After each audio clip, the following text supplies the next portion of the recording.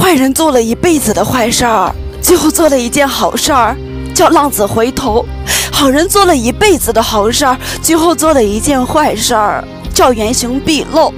好人成佛要经历九九八十一难，而坏人只需要放下屠刀就会立地成佛。出社会以后，我才发现档案袋里装的是烟，信封里放的是钱，茶叶盒里装的是卡。饭局的时候一定要及时的上厕所，上门的时候一定要落下一些东西。生活把善良的人逼到无路可退，把老实实在的人变得现实绝情。这就是生活，是这样的吗？啊！抖音。